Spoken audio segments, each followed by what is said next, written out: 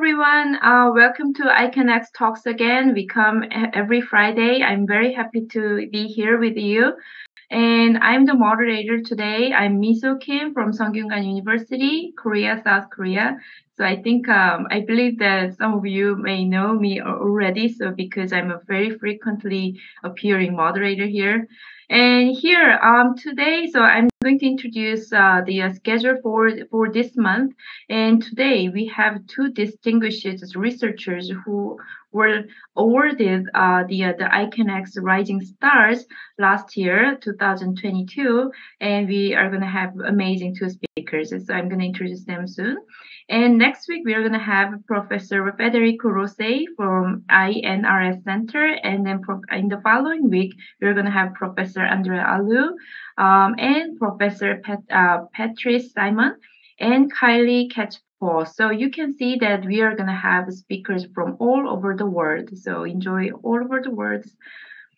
And so today, so we have two distinguished researchers from one from uh, Northwestern, from Professor Jonathan Rivnay, and one uh, is Professor. The other one is Professor uh, Chase uh, uh, from Case Western Reserve University. Both were uh, the awardees of the iCANX Rising Stars, which were very competitive last year. So we can, we are very proud of them and i'm very uh, pleased to introduce them and have them here to hear about their researches research talk. So and then uh, the first speaker will be professor jonathan uh, professor jonathan uh, from northwestern university. So let me introduce his bio a little bit before he uh, he comes here so Professor uh, Jonathan is a professor in the Department of Biomedical Engineering and Department of Material Science and Engineering at Northwestern University currently.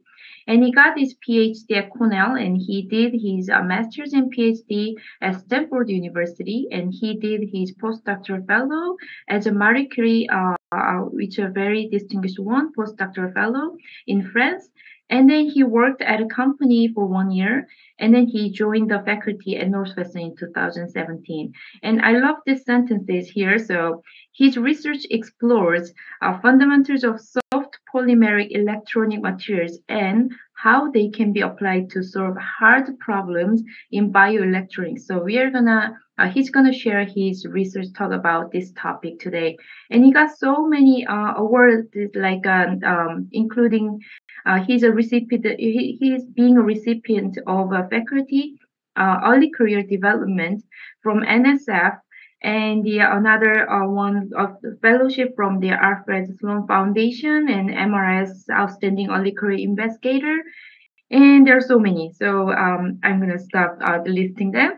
And today he's gonna add one more one, so like I can, iCANX Rising Star. Congratulations! And then this is your stage, Jonathan. Great. Thank you so much, Misa. Let me share my screen. Okay. Is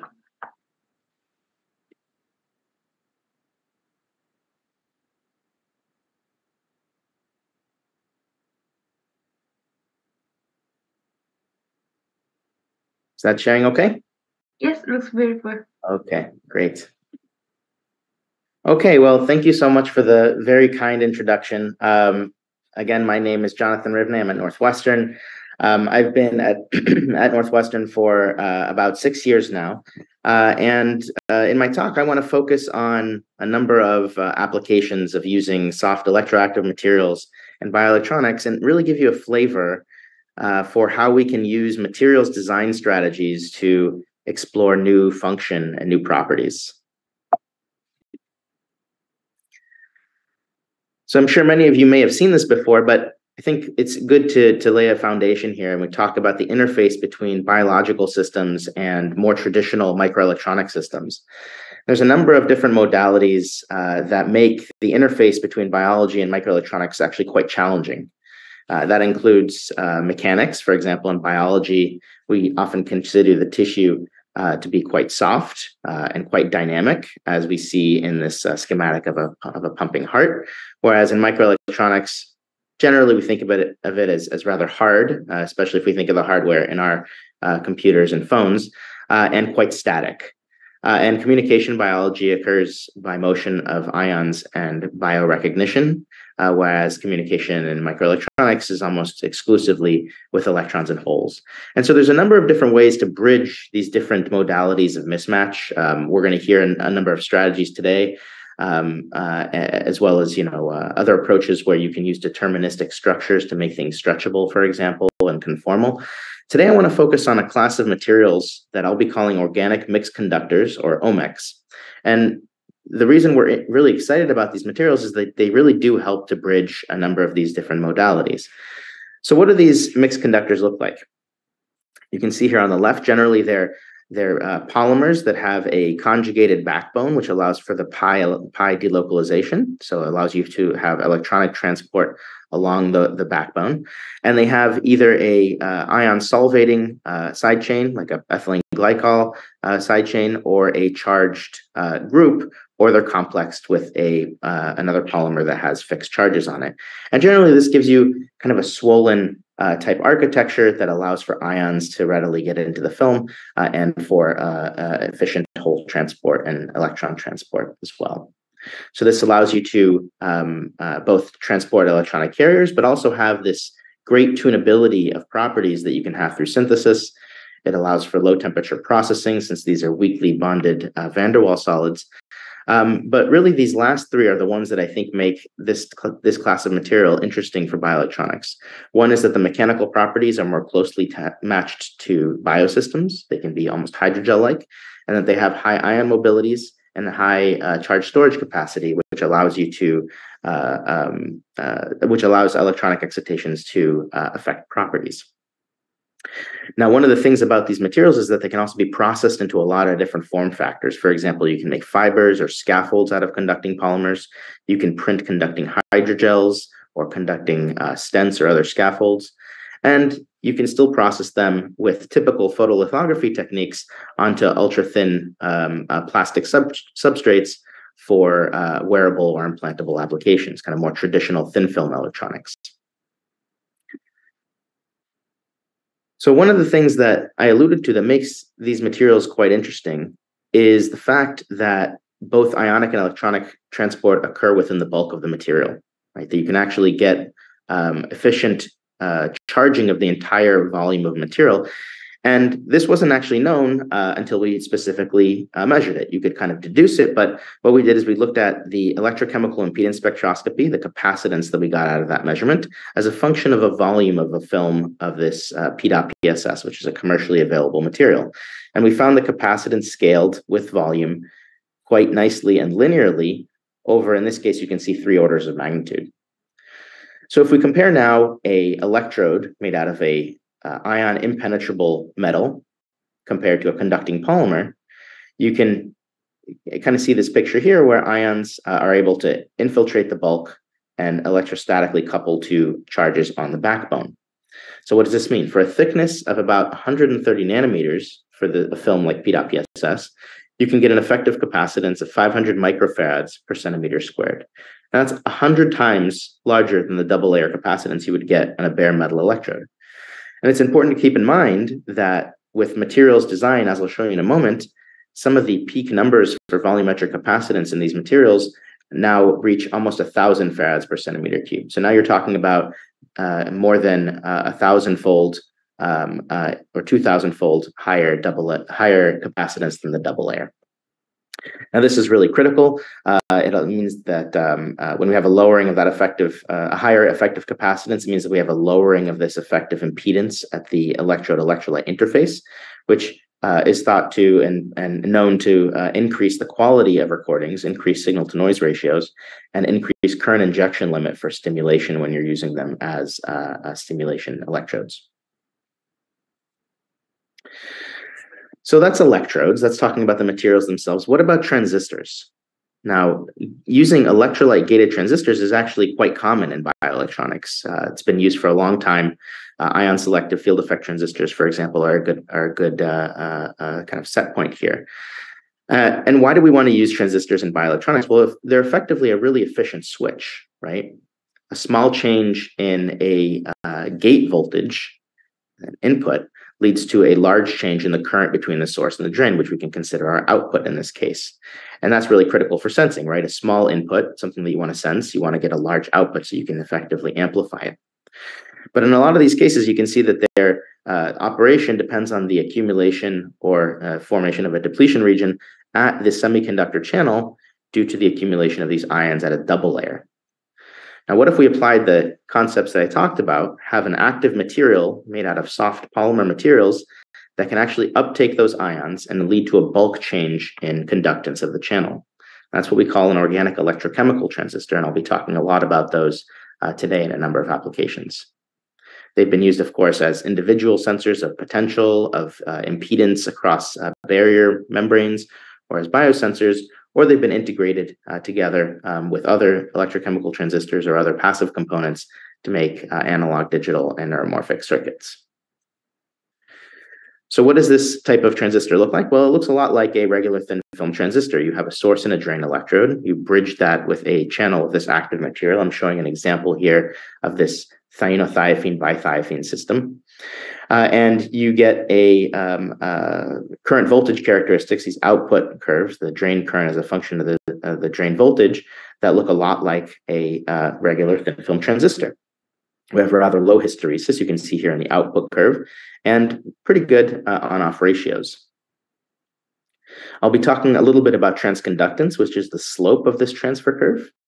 Uh, and one of the things that's really interesting that we found is that um, really the transconductance, uh, if we consider the different factors that go into a transistor here, the geometrical terms, the charge carrier mobility, and the volumetric capacitance, um, really scales a lot like you'd expect from a field effect transistor, except that you've pulled out this thickness term, the physical thickness of the film, and you have now a volumetric capacitance here. So if you uh, kind of uh, um, uh, multiply those out, that would effectively be your capacitance per unit area that you have in a thin film transistor. And so you have your geometry terms, your bias terms, and of course, um, one thing that we found very important is this figure of merit, this this uh, product of the electronic mobility and the volumetric capacitance, as something that is uh, a way to benchmark the performance of these different materials. Now, as new materials have come uh, come to light, have been developed, um, one of the things that my group is really interested in is actually studying and understanding how molecular design and processing affect performance. I won't go into deep uh, detail into this part of, of my group's research, but one thing that we found is that structure because we're exposing these uh, these molecules to uh, these polymers to an electrolyte, usually uh, aqueous based, so lots of water and ions. And when you apply a bias, you have a lot of infiltration of both water and ions, and that changes the structure. And so we've spent a lot of time developing tools to understand uh, how these materials change under operation. Um, we can usually quantify quite small changes in structure um, that we can see here with um, uh, X-ray scattering, telling us about the crystalline packing within these materials under different conditions, right? Exposed to an electrolyte, doped or dedoped. And we can actually monitor the changes in the scattering pattern as we're cycling these films, right? So you can really see the breathing here of this pi stacking peak when you look at that uh, thiophene-based uh, polymer. So again, without going into great detail into the material side of this work, um, you know, a lot of work has has uh, come both from the in in the effort to develop new materials um, that are good mixed conductors for electrochemical transistors, but also repurposing materials from other fields. So we have a different number of different classes of materials that now we know operate as mixed conductors that are polymeric in nature. Uh, and really, uh, there's been some uh, exciting advancements. There's been examples now of uh, small molecules that can be used as active layers. This is work from Christian Nielsen at Queen Mary, as well as um, uh, more recently, uh, 2, 2D polymers or covalent organic frameworks, which can give us better control now over the free volume for ion infiltration. and this is work in collaboration with Will Dichtel at Northwestern. And all the time, whenever a new material comes out, one of our goals is to actually start to benchmark these materials so that we can understand how they're better than their predecessors and potentially why. So you can see here all the dots in gray. These are materials that we were uh, aggregating and reporting on uh, before 2017. And since then, a lot of new teams uh, around the world have been getting involved uh, and, and uh, synthesizing new uh, polymers. And now we can see that the performance of these materials, now this is plotted the uh, hole or electron mobility as a function of that volumetric capacitance So keep in mind the product of these two is our figure of merit. So we want to be further up and to the right if we want a high transconductance material. So you can see here a lot of new p-type materials, and most of the work with n-types has really come in the last five or six years. And you can see uh, rapid improvement here, where now the performance of the highest uh, performing n-types is starting to uh, match that of the, the p-type or hole transporting materials. So I want to jump right into the main uh, aspects of what I wanted to talk about today. I, I, I, mentioned a little bit about these new materials and understanding their fundamentals. That's really looking at the kind of interfacial and bulk um, microstructure and performance of these materials. Um, of course, we like to integrate them into devices, electrodes, and sensors, as I've alluded to. But this level is not sufficient when we're talking about bioelectronic systems. At the end of the day, you have to do something with these materials. So uh, you have to wire it out to some sort of intermediate signal processing stage for preamplification, potentially multiplexing, uh, and some uh, um, uh, uh, data processing, and also send this information to the backend to maybe further amplify it uh, and and and do something with the information.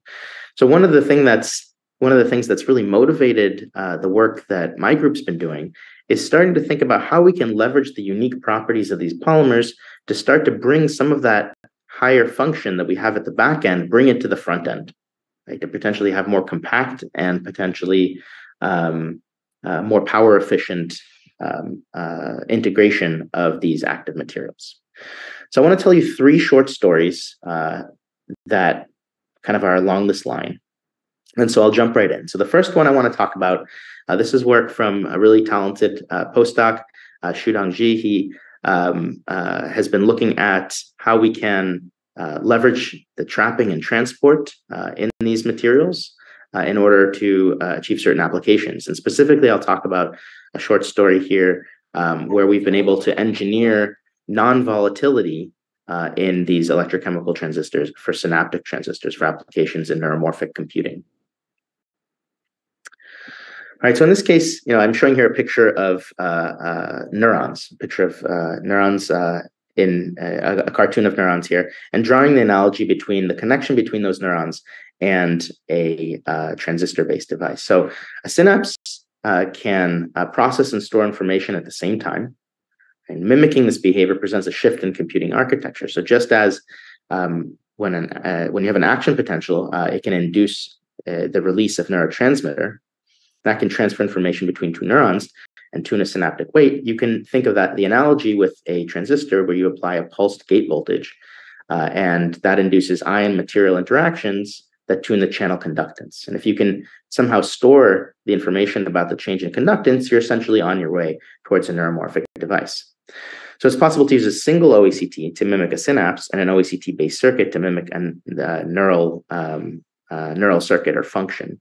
And this has been uh, integrated into a number of different applications. You have examples of synaptic circuits, right, where uh, basically you're taking a few of these synaptic transistors and some sensors to mimic sensory processing.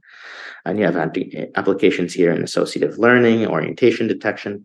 And then on the other extreme, you have these artificial neural networks that are more complex computing systems that are inspired by the human brain. And this is uh, usually implemented in a large array and uh, the weights between those uh, different nodes uh, mimic the brain.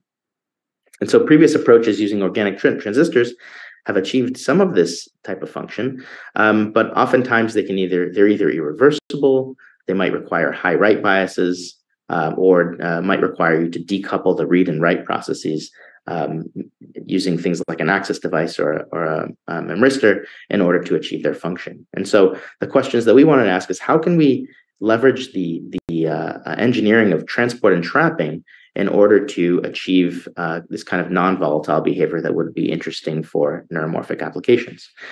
And so we turn to you know, a material that we've used in the past. This is a, a PEDOT tosylate. And so this is uh, similar to PEDOT PSS. This is a vapor phase polymerized uh, PEDOT. And the reason this is exciting is you can actually uh, load into the microstructure other polymers. So in this case, we loaded polytetrahydrofuran, right, which is this polymer shown down here. And when we do that, when we load 80% of this PTHF into this into this uh, uh, PEDOT tosylate, you can see the IV characteristics here in blue open a really nice uh, hysteresis loop in our IV characteristics.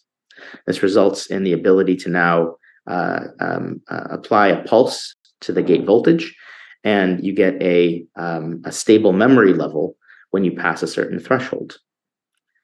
I show here also longer term uh, uh, longer term measurements showing the retention as well as the ability to reversibly and repeatably move between different states when you apply different pulses. And so um, this type of OECT not only has this long retention and stable operation, but also the low write biases that are um, really typical of these electrolyte gated devices.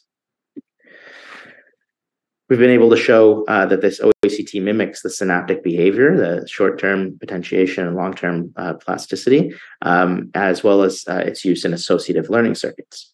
But instead of showing you more about the application, I wanted to get back to this materials question. Basically, what we've been able to do is to leverage structural and compositional probes, so GIWAXS and XPS, to build a picture of the operation mechanism. And what we find, in this case, I'm showing a cartoon now of only the PTHF uh, loaded uh, material, is that PTHF serves the role of basically trapping sodium ions that are in our electrolyte in the high resistance state. And you can see that here via XPS. Right? And so the trapping of these sodium ions really leads to the retention of the state once you remove the reductive bias. And what's really interesting for us here is that we're borrowing techniques from battery electrolytes. Right? Basically, it's been shown that when you vary the ether oxygen content, when you compare polyethylene oxide or PEG uh, with um, uh, PTHF, which has a lower density of those ether oxygens, uh, there's less ability for those uh, cations to hop between um, between uh, ether oxygen sites, and so it kind of acts as a trap for the ions, uh, giving us a mechanism here for non-volatility. I'm going to move on to the next short story here, and that's where we can um, use the fact that uh, we have bulk transporting in these systems uh, in order to achieve new architectures that might be useful for signal processing. So this is work from a, a grad student, uh, Reem Rashid, uh, and Reem Rashid, and we uh, I show here an example of a complementary inverter. Right? So why am I showing a complementary inverter? By the way, these little circles here, this is the circuit element for a electrochemical transistor. Now, a complementary inverter basically gives you a high output voltage when you have a low input voltage, and vice versa with a high input voltage. And the thing that's interesting uh, for sensing is that you also have a really sharp transition region where you have a high, uh, uh, a large change in output voltage for a small change in input voltage. So if you want to do some analog amplification for very small signals, this can be uh, an interesting approach to take. So the question that my student Reem asked is, can we essentially take this building block of digital logic and fold it up so that it's essentially really, really small uh, on uh, at the interface between the uh, bioelectronic system and the and and the tissue or the the biological system. And so that's what she did. Um, you can basically come up with a strategy now where you have a stack of insulating and conducting uh, traces, and you can either etch or you know with a laser or with photolithography a trench into this structure.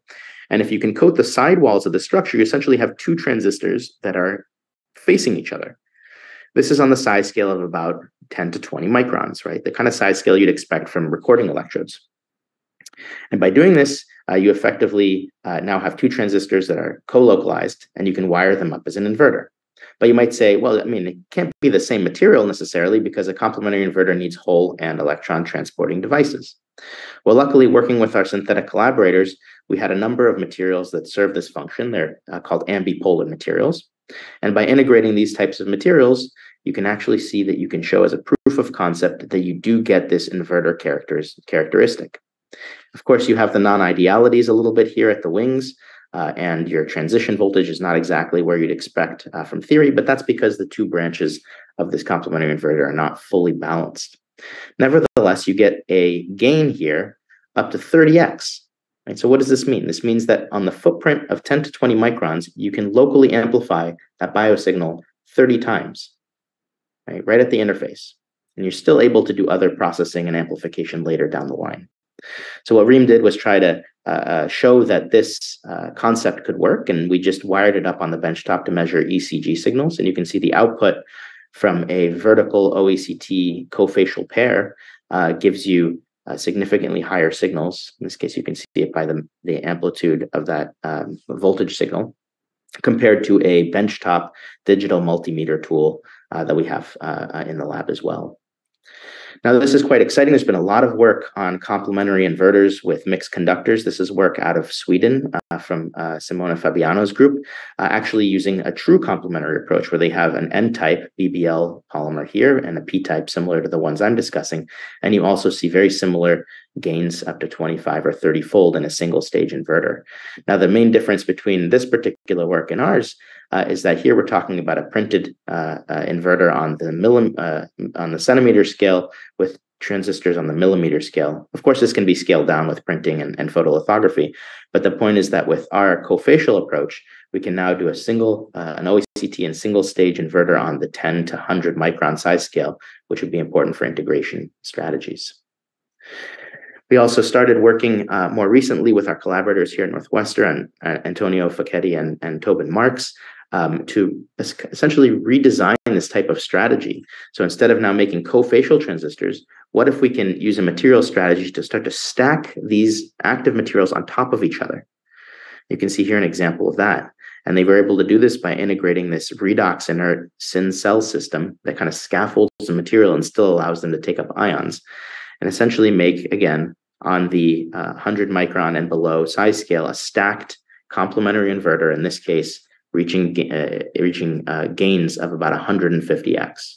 So I think there's a really bright future for these types of approaches with mixed conductors as both circuit elements and uh, analog uh, amplifying um, elements. Now, the last story I want to tell is a more recent one. And this is how can we rethink how we amplify biochemical sensors, specifically um, redox reporter based aptamer sensors or APTA sensors. And so, this question of integrating uh, aptamers, especially redox active um, uh, aptamers, with OECTs is one that uh, has been tried for quite some time. And I'll talk about some of the pitfalls that have uh, um, plagued the field. So, why are we interested in aptamers for sensing? In this case, I'll be talking about the test case of ten- testing um, sensing TGF beta 1, transforming growth factor beta 1, which is actually a molecule, that, a cytokine that enables differentiation of fibroblasts to myofibroblasts uh, to assist in wound healing. So um, uh, that's our test case in this case. So why are we interested in aptamers? Well, these are generally stable. They're tailorable. You can change their, their structure and engineer them. Um, they're relatively low cost, relatively small, so they're not massive like um, like antibodies, and have relatively facile functionalization. So in this case, with TGF beta one, when you don't have a binding event, your redox reporter at the end of this aptamer, which is a methylene blue reporter, uh, has a higher charge transfer. Whereas when you have a binding event, uh, that methylene blue moves further away from the electrode. And so the transfer between that redox reporter and the gold uh, is reduced. So you see a reduction in the peak. And so our question is can we use the OECT to amplify the signal from an electrochemical, sorry, uh, uh, electrochemical based uh, APTA sensor? Okay. So combining these strategies to some sort of integrated on-chip uh, amplification system.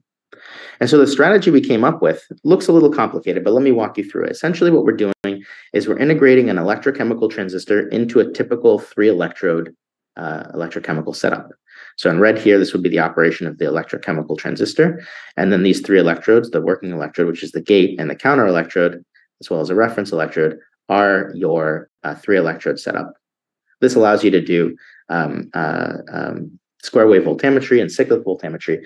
And the key here is that the uh, not only can we integrate these on chip, but what happens here is that the channel of the OECT doubles as the counter electrode in the three electrode setup. And so change in your um, redox probe activity right, is actually reflected in the doping state of your counter electrode, which can be um, uh, measured as a change in conductance in an electrochemical transistor. Now, again, this is a little overcomplicated. Indeed, you might be guessing that you could uh, fuse the source and the counter electrode here, make this into one electrode. We're just sh simply showing this for clarity. Okay. So how does this referenced OECT, as I'll call it, basically an OECT that has a true reference, like a three electrode setup, how does it work? So you can actually see we can uh, look at the typical cyclic voltammogram, or indeed the square wave voltammetry, and see that we have that redox peak due to the methylene blue. So now if we monitor the current right? This would essentially be the current of the working electrode or the gate of your transistor. If at the same time you now monitor that source drain current that I showed before in that channel, you actually see this step change or this change in slope in transconductance here effectively. Right? So what is this change in slope? Well, actually, this is essentially what's due to the redox peak. Right? So indeed, the change in slope is actually directly related to the integral of the gate current. Right? So this allows you to transduce the signal from the redox reporter directly.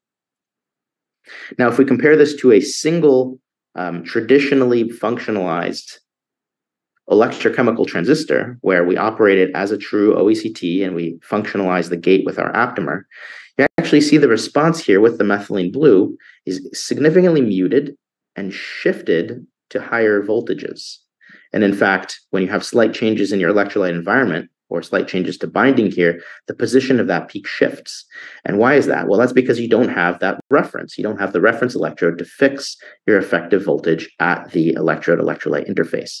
And you can see here a much higher change in your transconductance or much higher transconductance due to that redox reporter in your OECT signal. So why is this interesting? Well, now let's look how these perform in sensing with TGF beta 1. So in the referenced OECT, you can again see these step changes here, the changes in your transconductance and your current voltage signal. And indeed, what ends up happening is that with the referenced OECT, whether we're you do, operating as a, as a cyclic voltammogram type mode or in a squ- square wave voltammetry, we see an increase of three and a half thousand to 12,000 in our sensitivity. And that's basically because of that transduction uh, of the signal uh, in the uh, operation of the OECT. Right? So we're going from 20 to 80 nanoamps per decade for the electrode to, in this case, we're looking at the difference in the in the signal before and after this, this change in transconductance up to about 290 microamps per decade. Now, you might notice that our limit of detection doesn't really change. And this isn't actually very surprising because the mechanism of transduction um, is is identical, right? You still have the same um, operation of a uh, redox reporter based aptamer at a metal electrode interface. Um, and all the OECT doing is amplifying that signal, right? You're actually using the same electrode in both of these experiments, the same working electrode or gate electrode. So basically, this referenced OECT can improve the sensitivity, which is going to be really critical for when you want to integrate this into a bioelectronic device, let's say for an implant. Um, uh, it gives you really much higher signals. You don't need specialized equipment to measure such low uh, currents.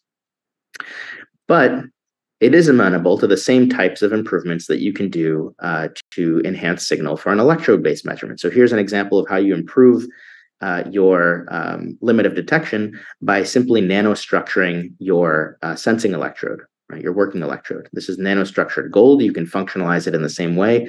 And with TGF beta 1, you can now improve your limit of detection by two orders of magnitude, a hundredfold improvement down to about uh, 10 picograms per milliliter. And so these same strategies that we use can be effective uh, for uh, integrating into these referenced OECTs. And so, that, I want to wrap up.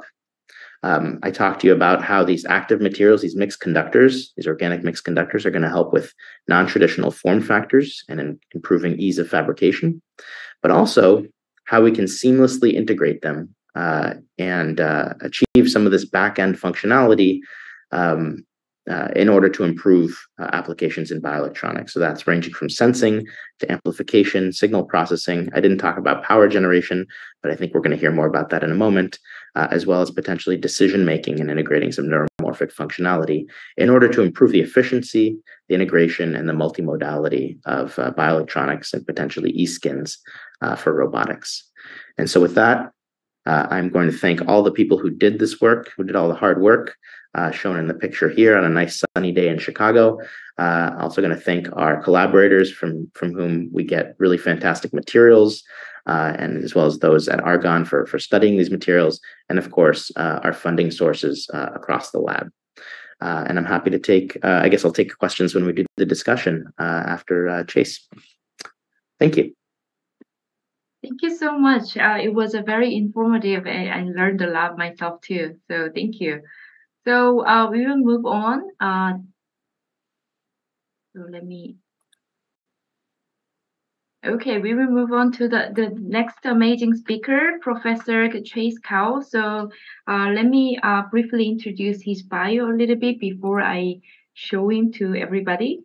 So uh, Dr. Chase Cao is an assistant professor mechanical and aerospace engineering at Case Western Reserve University and directing the laboratory for soft machines and electronics.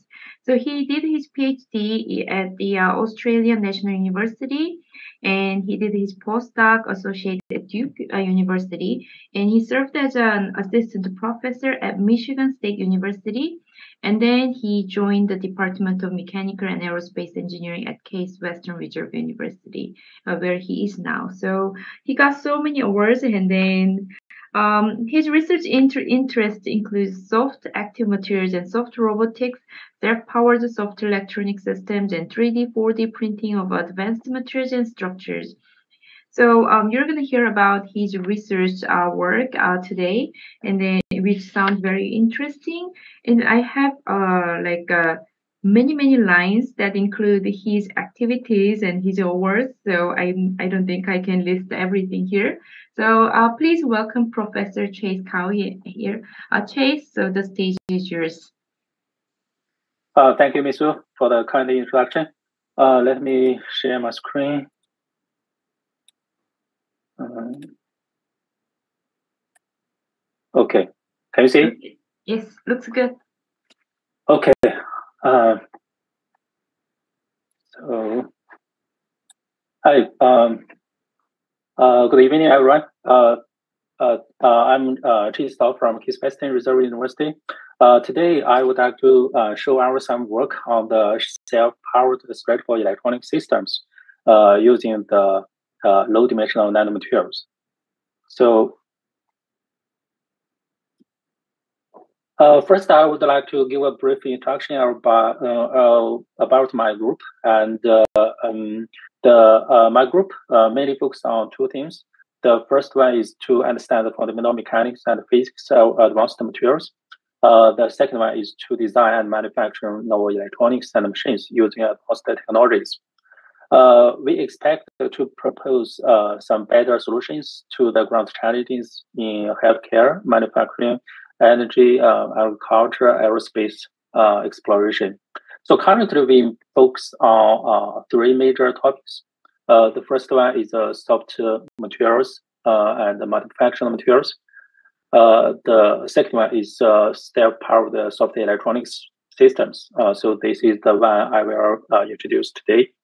the third one is soft robotics and soft machines. So we develop some the the miniaturized the autonomous and collaborative robots. So uh, the software electronics uh, can provide uh, superior uh, solutions to various fields. So uh, from the unprecedented, unprecedented materials and tools, the wearable and portable devices, the personalized healthcare monitoring system, and you know the intelligent robots and machines, the also you know the smart infrastructure and agriculture. So we devote ourselves to the design and manufacturing uh, and mechanics of software uh, electronics. So the first part today, uh, I would like to uh, introduce the printed flexible straightforward electronics. So uh, we have done some work in the past few years. Uh, actually, you know, in the last one to two decades, we have observed dramatic advances in emerging soft electronics uh, for many applications. So uh, uh, uh many examples, uh, for example, the uh, wearable sweat sensors, you know, the epidermal sensors, food sensors, and human machine interaction interface.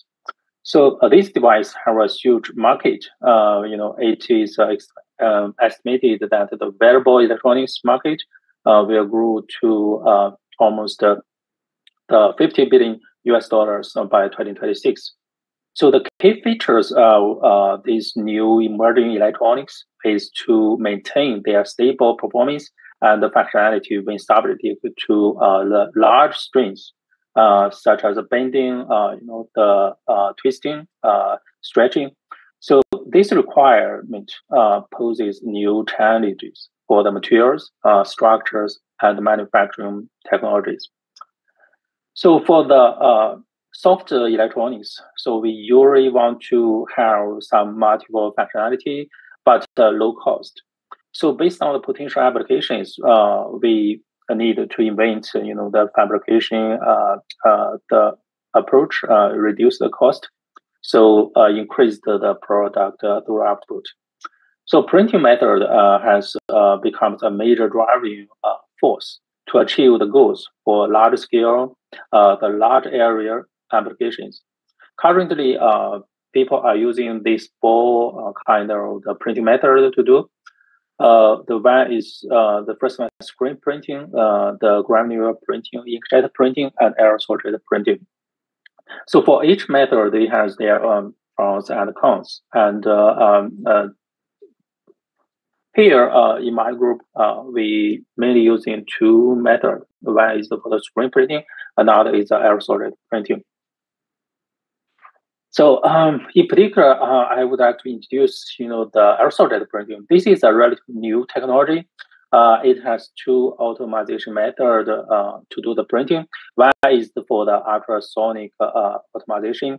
Another is uh, the pneumatic atomization.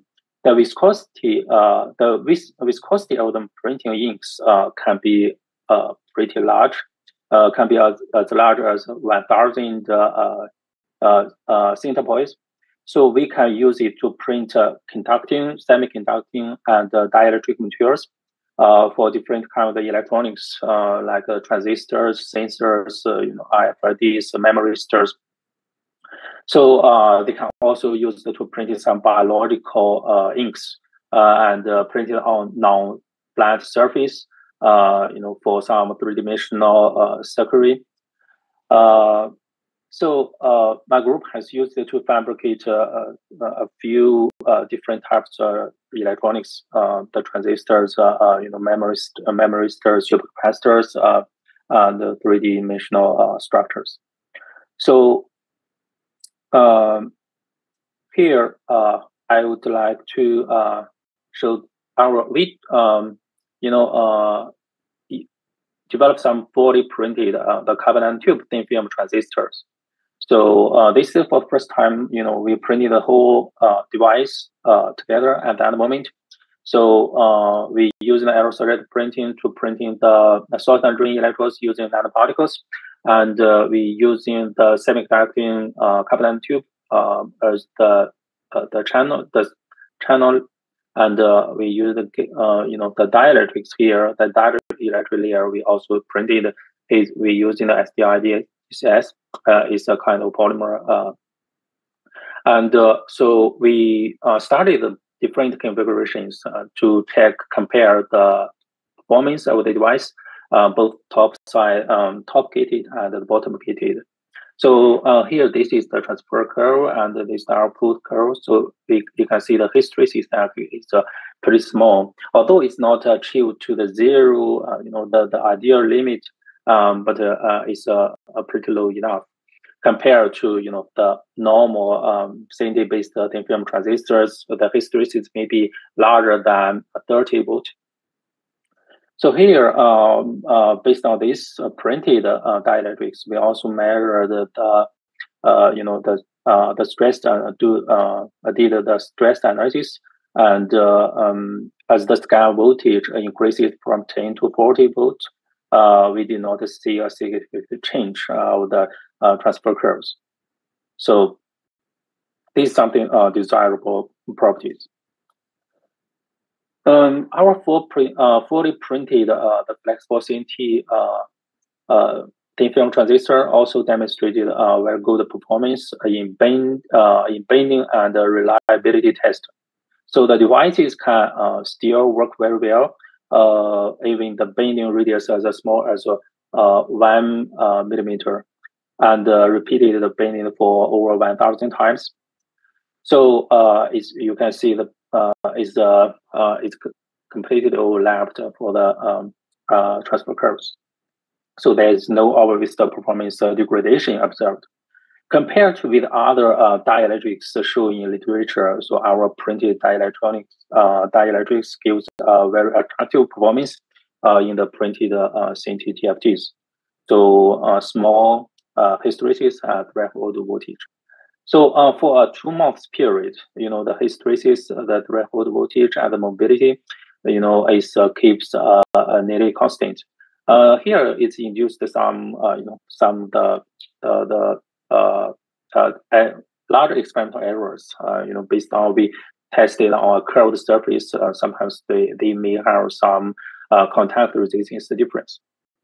So uh, the printing device can maintain their uh, performance for quite a long time in the uh, open air um, ambient conditions.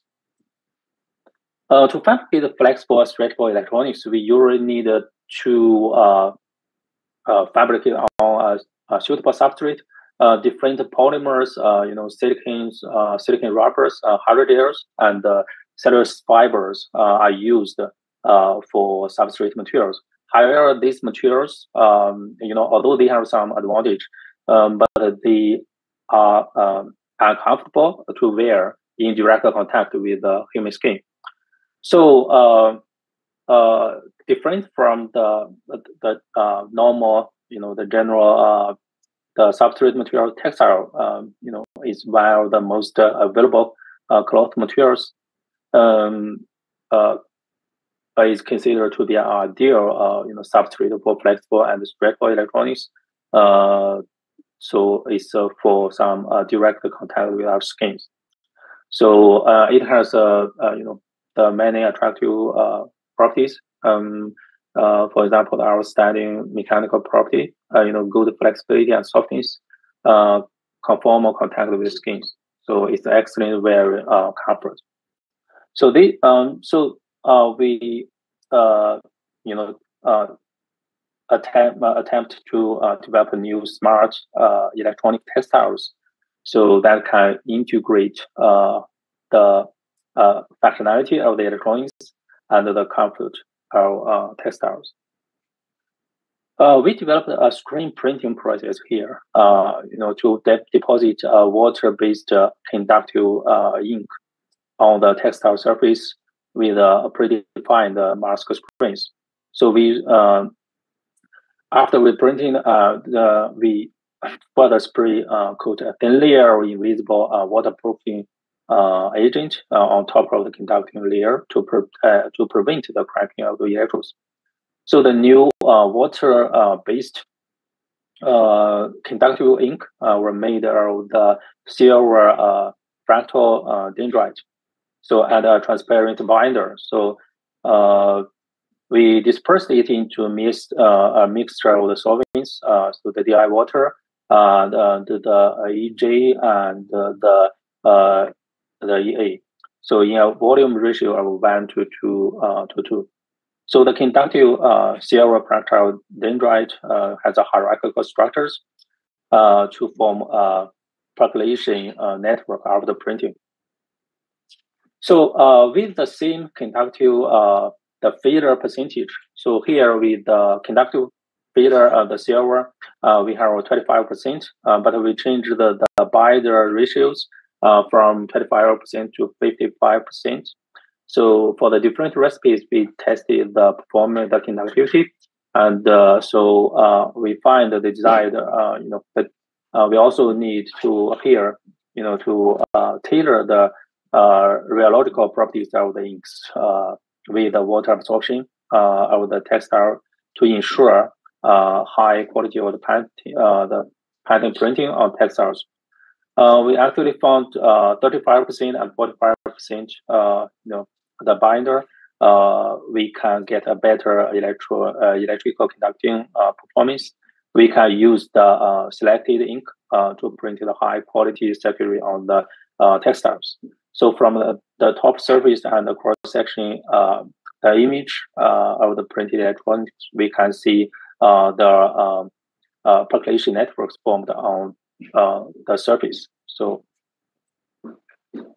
uh, we can see for the 35% and 45%, uh, you know, and the different strengths from, z, uh, from 0 to 100%, uh, you know, these larger than 35% can maintain conductive net, networks. So the deformation mainly comes from here. Uh, we in situ to check, uh, you know, the deformations. Uh, the deformation mainly comes from this uh, these uh, gap size, uh, gap parts. So the, these two sections, section one and section two, so it forms the wrinkles. So and the larger wrinkles is from here. Uh, the printed e, uh, e textiles have excellent water resistance, uh, uh, you know, the good permeability and outstanding wear resistance. Uh, even we immersed in water, you know, for a long time, it has still maintained its conductivity. And uh, after for washing multiple times and uh, stretching and releasing for multiple times, uh, they still can maintain a good performance. Uh, we demonstrated the printed e, uh, um, textiles as a strain sensors so it has the strain sensors. We it can uh, measure the strains up to 150 percent, and uh, under different under the cyclic uh, testing, and we can still we can have a good repeatability, and this show the repeatability uh, is a pretty good, excellent uh, stability for long term uh, durable use. We also demonstrated the printed e-textiles can be used as a draw heater. You know, with the excellent heating performance. So uh, 1.6 uh, volts and only a few, you know, uh, in less than uh, 40 seconds, it can increase to uh, 180 degrees. So it can serve as tool for personalized hair, um, personalized thermal management or medical treatment, such as the cold preparation, you know, the hyperthermia. Um, so here, uh, this is a video you uh, you will see, uh, and uh, the deformations, uh, you know, uh, the it still can maintain a good performance. there is no degradation of the performance.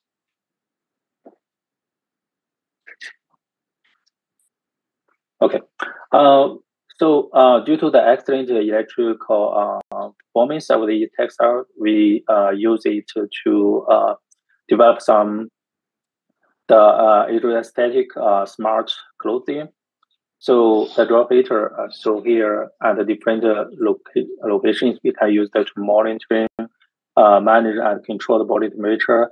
Uh, the strain sensors uh, formed with the printed uh, the uh, paintings can monitor the motions uh, state of the users and its performance we are not affected you know not affected by sweat and water so uh, this is a, a demo uh, for the uh, motion detection.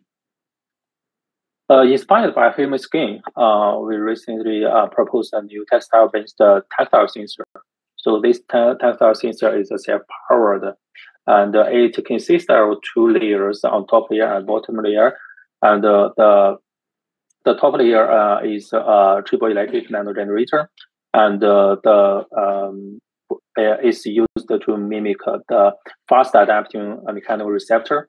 And the um, uh, bottom layer is a piezoresistive sensor for mimicking the uh, slow adapting mechanical receptor. It can be used to detect the uh, you know the pulse, uh, the, the pulse rate, and uh, the human motion, and also you know the voice patterns, material recognition, and the, the you know human machine interface. So this uh, this is the, uh, the the sensors, the small sensors on top of surface that nanomaterials. So um, uh, let's show some results. Okay, this is the uh, uh, the um, slow adapting uh, the sensors made of the you know the piezoresistive sensing layer. So it can uh, use the, to detect uh, the voice, uh, you know, uh, the small uh, the small weight um, of the uh, the small pressures. So um, it uh, demonstrated a fast response and recovery behaviors. So the repeatability, uh, you know, the repeatability and the robustness of the uh, sensor uh, are excellent. So um, the SA sensor, uh, you know, can be used for real-time uh, monitoring of physiological signals. so if mounted on different locations um, on the human body, it can detect the the human motion, and it can um, obviously distinguish the PTD, the patterns from the pulse. So the um, fast adapting uh, sensor, uh, so it, uh, from the triboelectric nano generator, it can uh, detect the surface textures and uh, identify the material types. Uh, so if we combine it with the machine learning, you know, it can distinguish the materials with accuracy, you know, larger than 99%. Uh, in addition, the new skin uh, inspired sensors can, uh, you know, resolve the complex uh, stimuli and control the uh, soft robots. So here uh, is the on the different uh, to sense the the stiffness, the hardness of the ob- objects. So this human machine interface can control the manipulators for grasping and bending to perform perform different uh, the gestures.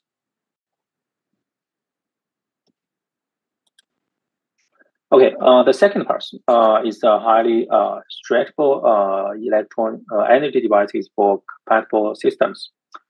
So, um, MXene um, is one of the most promising materials for wearable devices. So it has been demonstrated for different kind of applications, uh, you know, uh, due to its high capacitance, high conductivity, and uh, uh you know the the uh, uh, mechanical, the electrochemical performance. however, we found, you know, there was little work on the stretchable devices with the MXene. we tried to build some, but unfortunately, we didn't succeed. so the the major um, the challenge is the cracking issues here.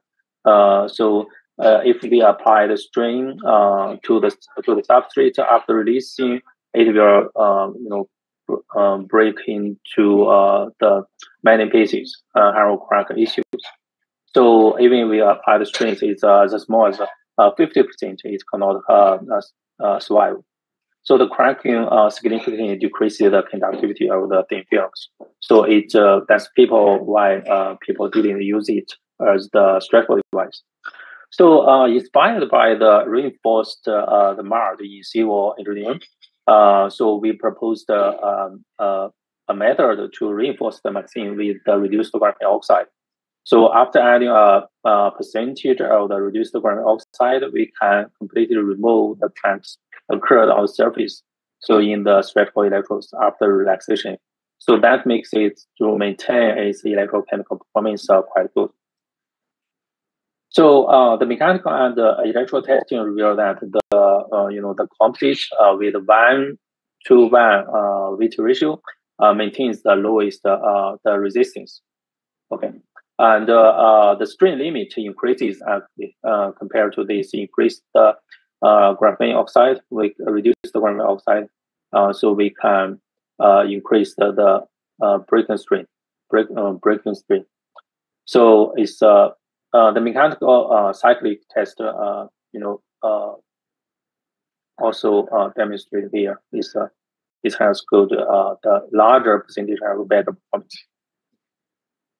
Uh, the cracking uh, uh, generated in relaxation process are attributed to the high mechanical uh, modulus and the small flake size of the uh, MXene films. So compared to the uh, MXene, you know, the reduced graphene oxide film possesses a lower Young's modulus, stronger inter-sheet interactions, and higher elongation at the break so make it more compliant to the extreme mechanical deformations or strains uh, in the relaxation process. So the small size of the MXene film, you know, uh, is uh, uh, was important to uh, facilitate ionic transport and achieve good electro uh, chemical uh, electrochemical performance. the larger reduced graphene oxide flake size uh, can lead to stronger uh, intersheet interactions by increasing the uh, face-to-face interactions area and reducing the air-to-air edge-to-air edge interactions. So uh, the performance comparison, uh, you know, this is the pure MXene, uh, and this is the MXene uh, composite. So you can see the show the difference. And uh, this uh, with the composite electrodes, we can maintain its performance at a different scan rate at, at the larger strings that larger than uh, you know, 200% string. So here, uh, for the both the biaxial and the uniaxial electrodes, you know, they demonstrated the consistent uh, results. So no different change, uh, uh, major change compared to the uh, you know the uh, relaxed stage. So that's the uh, uh, significantly, improve the uh, electrochemical performance. So we also, uh, you know, built a double layer uh, the electro uh, the supercapacitors, and uh, here we're using the PVA uh, sulfuric acid as the gel electrolyte. So it also serves as a separator. So you can see for the device, you know, from zero strain to 300% strain. So it can maintain a nice uh, the rectangular shapes for the CV curves. So the applied strings has a little effect on the device performance. So uh, in order to develop a, a compatible manufacturing process uh, for the stretchable electronic systems, so the system we means uh, the, the both parts, you know, the electronics parts and the uh, the power source, uh, the uh, power supply. And here we develop a 4D printing approach to fabricate the stretchable electrodes directly for multiple the you know the circuitry uh, components. So we use the aerosol printing and we stretch the substrate, hold it there, and then printing it after that we uh, sintering uh, the inks and uh, relax, and it forms some patterns. So here for the um, for the hybrid materials, we uh, consist of CNT, rGO, and conductive polymers. So it can form a, a composite. So it uh, meet the printing requirement uh, compatibility with the substrate and uh, enable you know the, the good electrochemical uh, performance. So uh, we still using the double layer structure, and we tested the performance. And this is the biaxial stretching, and the strings 200 by 200 strings. It can maintain an ideal, uh, very uh, nice uh, the electrochemical performance. So the charge discharge and you know the specific capacities also does not affected by the strings. So uh, since this is the printing method, uh, we can fabricate different kind of the shapes and uh, you know arbitrary shapes and uh, you know different design, uh, different configurations at the desired uh, positions. So we can fabricate you know the arrays and either series or parallel or series connected together to accommodate the requirements for the voltage and current in the applications. So this fully, uh, you know, they this uh, uh, uh, finally, uh, I want to show uh, a work. Uh, this is, uh, you know, uh, quite different from the previous, uh, you know, the thin film based. Here we use the carbon nanotube forest to serve as a material uh, model. We can fabricate, you know, different kind of sensors, uh, the super capacitors, and uh, you know, the uh, energy device here. Uh, this uh, this we fabricate, you know, the this vertical line. Uh, this is uh, we expect it a better performance uh, compared to the lie down uh, thin films. So um, one challenging uh, to fabricate this is uh, the transfer process. You know, the transfer process was not very straightforward. We uh, used a thermal oxidation, uh, oxidation assisted approach to uh, successfully transfer the CNT uh, forest onto the stretchable electrodes, uh, electro, uh, substrate. Um, due to the unique properties and the robustness uh, in com- accommodating the large strings, you know, even the strings here are larger than the pre-string in the fabrication process. We can use it to fabricate, uh, you know, it still can maintain a good uh, performance. It will not fail. Uh, so uh, this is some uh, advantage. And the crumpled uh, the CNT uh, based uh, stretchable uh, supercapacitors, you know, uh, demonstrated uh, uh, very good uh, the electrochemical performance and the mechanical stretchability. So the CV curves have a rectangular, shape. You know, uh, is typical. This is typical for the double layer supercapacitors. So compared to other uh, devices, uh, you know, this work for the stretchability and uh, the specific capacities. Uh, uh, here we only compare with the carbon nanotube based the materials, and because it's for other, you know, the, the material like MXene is 2D materials is uh, some different uh, material properties. Um, but the strategy is uh, is uh, uh, uh it's it's used it's um, it's useful. It can also you know use some nano rod and nano nanowire materials. so this is the device and you know the stretchable and the biaxial cases. So biaxial case is slightly changed.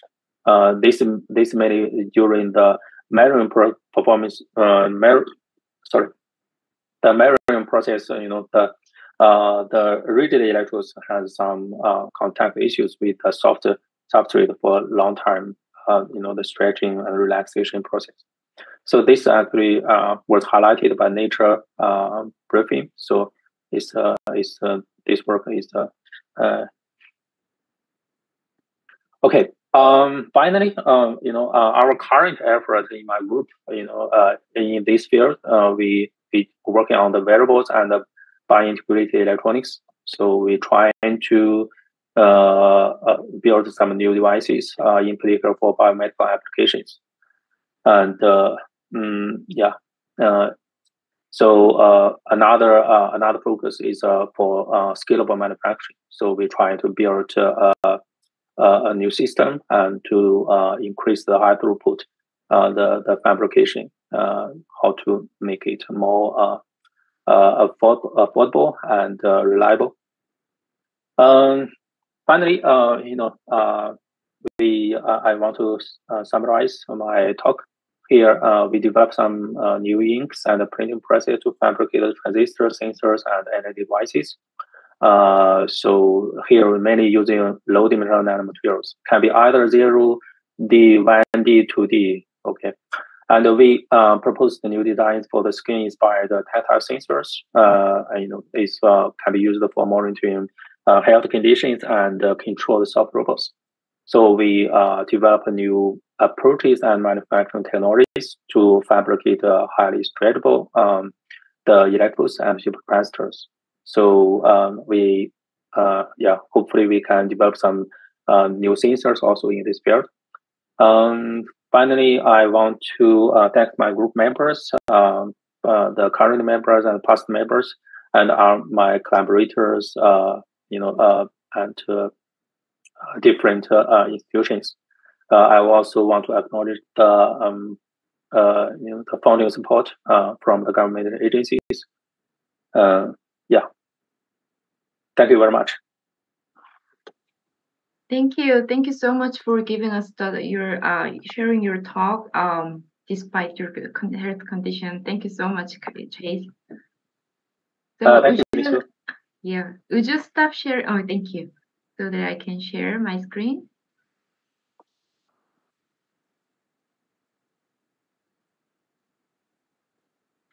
Okay, so now it's time together and then have a chat about your research um, and then uh, your academic career or anything about yeah our life. So so um so uh, for jonathan so do you have any questions or or or, over chase's uh, research a little bit first? Yeah for sure. Yeah i found it uh, very very exciting. Um, i'm wondering you know as someone coming from the polymer electronics world i know that making inks out of you know nanomaterials and things like that um, is kind of the core of what you were talking about. But uh, it would be great to hear if there's any developments on uh, processing and and and uh, scalable manufacturing of conducting polymer-based materials, especially in potentially integrating new active materials with the new functionality. Okay, uh, thank you, Jonathan. Actually, uh, we're also using some conducting polymers. You know, many uh, the the commercial one, available one is uh, the PEDOT pH vandarzine. Mm-hmm. Yeah, and uh, yeah, we're using it for some uh, you know the printed electrodes and uh, in for biomedical applications. I think it has uh, uh, good biocompatibility and uh, you know, um, but definitely uh, you know the original uh, the the conducting polymer their conduct conductivity uh, conductivity is not as good as they you know uh, we want sometimes. You know, you can use some method to further enhance its uh, its uh, conductivity. Yeah, yeah I, I, I, I like, traces I like Your, yeah, I like your your work very much. Actually, uh, you know the the vertical um, also uh, curations uh, for your new paper published in Nature. So uh, it's a it's wonderful work. So uh, I actually a few were a few years ago when, uh, I was a at Duke, uh, you know, I, I talked, uh, I discussed uh, actually, uh, but we didn't make make it work. And uh, for the vertical aligned, uh, you know, the, the transistors and uh, mm, uh, yeah, uh, from uh, we have uh, one colleagues, you know, from Army lab and uh, we we had some discussion. Uh, then both we left, and we we have no chance to to work on that anymore. yeah, so hopefully we can we can find a chance to discuss it further for for your uh, specific work. Fantastic. Yeah, both of you can come to Korea to make that discussion. So, um, so include me too. So, so naturally, naturally back to Jonathan. So I have a question. So I think uh, it might be really challenging. It must be really challenging. So uh, to apply your systems into the uh, the biological system in in actual systems. So depending on the biological system, for example, like depending on the part of our body so would there be any different approaches, approaches or strategies to design your device architecture or select some materials? It might be a little bit broad question, but yeah. Yeah, no, that's a great question. Uh, you know, I think ultimately it depends on the form factor that uh, that the active materials take. So, um, you know, of course, if we're talking about materials that are either meant to bridge electrical signaling like a cardiac patch or or some sort of electrode um, mm-hmm. to be used on the skin or on tissue then of course you know all the strategies that chase talked about and and you know making you know pre-strained or deterministic you know serpentine like structures uh, mm-hmm. is very very helpful um, i think the place where uh, organics uh, polymer based materials really succeed i think is in taking on um, well, first in taking on form factors in in 3D, right? So, uh, and not not like 2D plus, you know, for example, pop out structures, but really having scaffold and hydrogel like structures that might be helpful for um, uh, accelerating tissue regeneration, uh, for example, nerves or bone or or, or things like that, um, or um, uh, kind of structures that that can take on that kind of uh, architected form. Um, but if we're making thin film electronics, which is most of what we talked about, uh, what most of what I talked about in my talk, um, I think the strategies of integrating those active materials into uh, circuits, um, as we see, you know, with a lot of different materials, including some of the work that either Chase showed or or um, uh, motivated uh, his his talk with, um, then I, don't think there's really many limitations um, from a bio biocompatibility perspective. Many of these materials, um, of course, every time we develop a new type of material, we have to test the biocompatibility. But many of the materials that that uh, that I, I showed um, have evidence that they that they do work well once they're properly um, uh, purified uh, and sterilized. So I don't think, uh, from a biocompatibility perspective, uh, that'll be too challenging of an issue. Oh, okay. Uh, less challenging than expected. So that's a good news. We'll see. Maybe I'm being too optimistic. Yeah. Oh, I'm working on mechanical metamaterials uh, for the uh, for the past years and now. So probably we can we can provide some great designs uh, of mechanical metamaterials that can match with the, uh, the form factor that can be flexible and then with some functionalities that we want. Very but I think about it more. So. Yeah. Okay, so uh, I have uh, questions for both of you. So uh, since you're dealing with those uh, materials for wearable or bio, like a human human interface uh, um, application systems, so we have to think about, I think, um, the sensitivity to hum uh, humidity and the heat or the, the environment things. So what would you um, say about those? Yeah, the environmental sensitivity about your device? You first, Chase. Yeah, Chase, you want to go first? Oh, okay. so actually, uh, that's a good question. So uh, I think that's the uh, uh mainly uh, related to the reliability and you know the, mm-hmm. the the robustness of the the sensing. Um, currently, we see, you know, uh, for most literature, uh, we didn't see much report about, uh, you know, if uh, any interference between different parameters, you know, how the environment change will affect the device performance.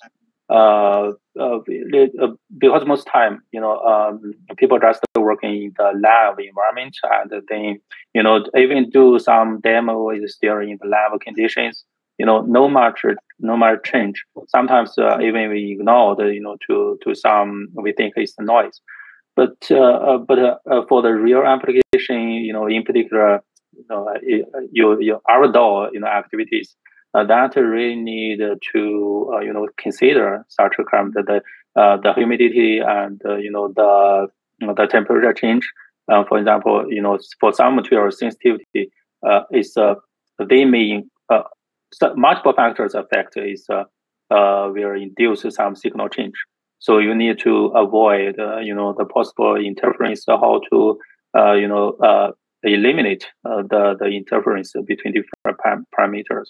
Make, a, for example, the strain measurement, you know, strain sensors, you want it to be independent of the temperature change.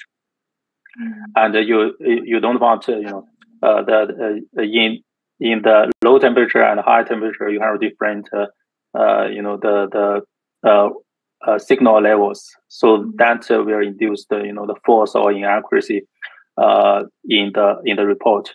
In particular, you know, if you want to monitor the health conditions, so that has that may induce larger larger error, large larger difference.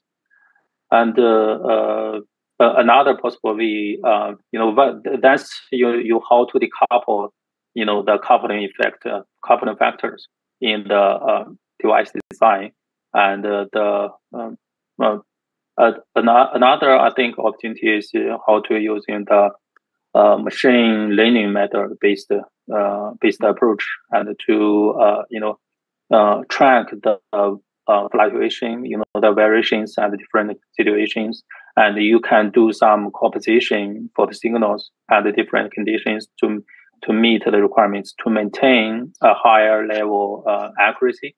Uh, you know, uh, the to focus on what the parameters you want to uh, have. Yeah, that, that's that's my opinion. Okay. Yeah.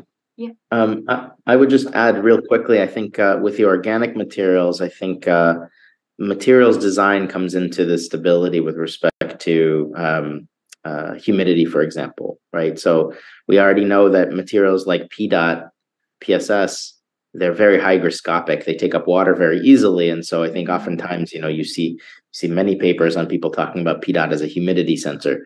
Um, it senses a lot of things, um, but um, you know there are newer materials, or uh, if you process PEDOT in such a way that you remove the excess PSS, or if you have materials that form kind of nanofibrils um, those materials actually don't swell passively very much at all in the presence of water. And so you can start to think about materials design strategies at really the molecular um, or kind of mesoscopic level in order to control whether or not they are responsive to humidity or not. Some cases you want that, in some cases you don't. Mm-hmm. Oh, thank you for sharing your thoughts. So would you have any other questions for each other in terms of research? Probably in person later. okay, so yes, uh, uh, yeah, Chase. Uh, maybe I ask an additional question. And uh, so, uh, Jonathan, uh, for the for the neural electronics, so now, you know, do you think what's the uh, the, what's the major challenge to to uh, develop some some good, you know, desirable uh, neuroelectronics? Are you talking more for sensing or for kind of neuro-inspired, like neuromorphic computing type things? Uh, sensing, uh, sensing. Sensing, yeah. Um, yeah. What are the biggest challenges? Um, yeah, I, I think uh, is the, the, the case with organics uh, across the board. I think is that every time you make a small change, you need to reevaluate the material. You know, both its processing, uh, its stability, its biocompatibility, as I mentioned before. Uh, and so I think there's a lot of really promising materials, but because we're so excited about playing with new chemistries and everything, uh, in order to explore new function and new properties, it means every time we have to reevaluate stability, biocompatibility, and everything. But I do think that there's uh, a lot of promise in making you know micron scale devices that can give you you know large scale sensing arrays for neural activity uh, even as I mentioned, kind of on-site signal processing that I think will be uh, exciting for uh, for uh, applications in neuroscience and neurotech. Thank you. Okay, now I think uh, we can talk about our research, um, non-research but research life. So, so uh, here uh, we are here together because you are the Young Scientist awardee. So I wanted to ask, uh, what motivated you to apply for this ICANX uh, Young Sci Young Scientist Award? Like Chase. and then uh, the uh, next question is, after you got the award, what what would be your meaning? So, what would you say about that? So say something nice. Um,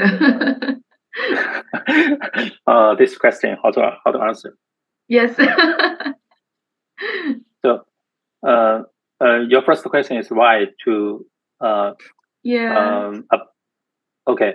If I say um, why, it sounds too aggressive. But what? How? Um, how did you get the information, and how? how what motivated you to apply for this award? And the meaning of the word. Um, yeah, I, I, think um, you know I know this uh, mm, the ICANX uh, platform for quite a long time, and uh, you know I, I, was involved in multiple uh, WeChat groups uh, and uh, you know from Alex, and so it's uh, so it, I, I like it very much actually.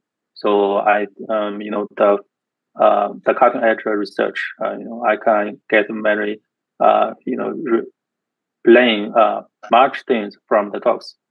Mm-hmm. I think it's uh, uh, the, I think the message is from from the community, and then they posted and you know advised the the information. And know I think, but I definitely, you know, uh, it's a competitive, and uh, I, I just fortunate, you know, I have some the I uh, appreciate uh, the committee like uh, the work I have done, uh, you know, in the past few years.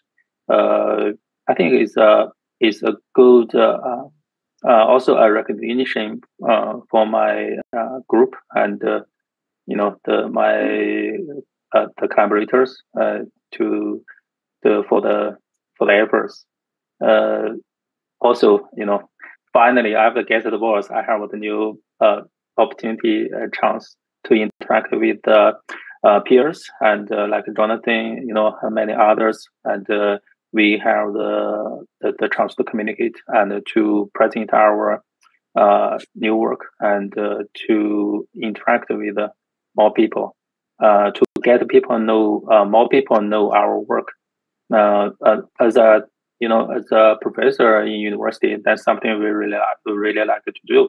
Is uh, uh, we we travel to different places that attend the conference. You know, that's the same that's the, the same purpose, and uh, we want to uh, let people know what we we have done, and uh, you know what uh, try to generate uh, um, you know bigger impact, and yeah.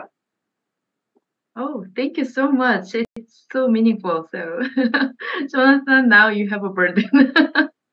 yeah, no problem. Yeah, no, I, I heard about ICANX from Twitter, if I'll say it there. Um, but uh, I, I, thought it was. Um, uh, I found this platform uh, to be very exciting. Um, you know, we're used so used to, you know, the the extent to which we disseminate our work is either papers or conferences, and I think both of those there's a uh, can be challenges to access that and to have broad reach, right? I think in a lot of places around the world, uh, subscriptions to certain journals or, or the ability to travel to a, uh, a, a national or international conference can be quite limited. And so you, I think you end up talking to many of the same people. You do make some great connections, and that's of course something that we have to do. Um, but having a platform like this that is um, uh, you know very accessible, free uh, uh, throughout the world, uh, it's a good way to um, not only continue to disseminate your work, but uh, as Chase said, you know, make new connections, uh, potentially new collaborators, and, and, meet new people. Mm-hmm. Yes, definitely. I I'm one of the members who started, uh, not exactly the started, but like earliest members uh, who joined the uh, the ICANX platforms. Now it's been like three years. I don't know. So it's been too old, and I'm a, this is my almost my like routine. At least once a month, I have to do the moderator, and then it's my great pleasure, and then to meet new people, and then like today, I learned a lot, and then like communicating with you like over online. And then uh, there was one person, you know, uh, Professor Deep Jariwala. We have met on over ICANX talks like for two years for the past years. And then we finally met in person. And then it was so natural because we thought that we already met before. So it was a great feeling and it was a great connection. So I hope that I can meet you in person soon. And then uh, in relation to this uh, Young Science Awards. And big, big congratulations because I was on the committee.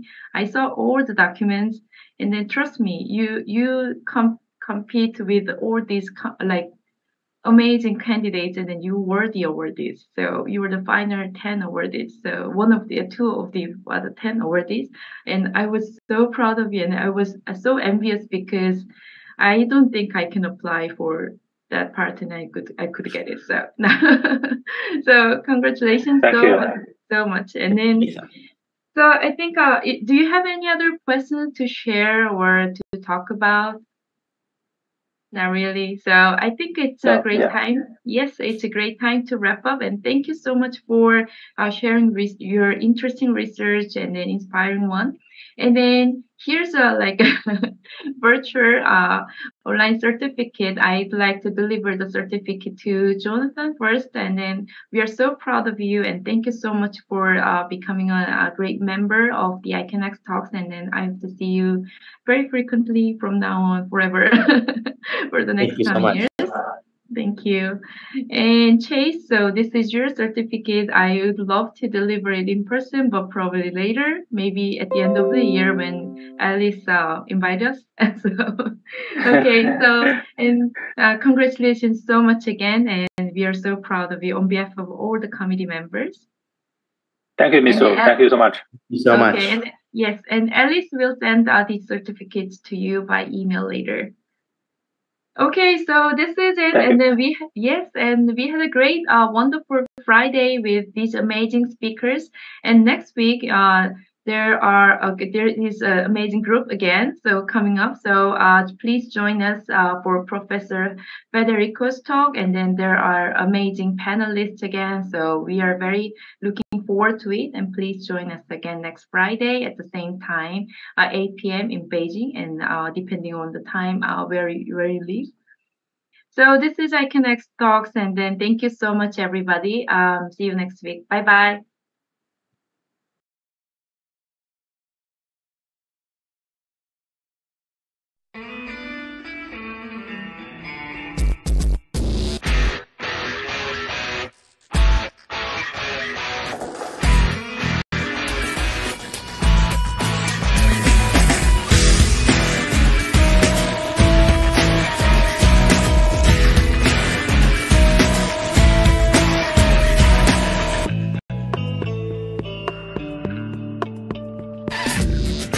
不再是奇迹，不再是幻想，此刻真感觉全世界为我鼓掌。不必太在意身旁惊奇的目光，可以点点头，可以放声歌唱。我创造奇迹，我拥有梦想，我希望看见所有骄傲的脸庞，不再为曾经失败放弃或感伤，努力才是真的方向。I can, I can。没有什么可以阻挡心中无限的力量。I can, I can，你也能够像我一样飞跃。I can，没有什么可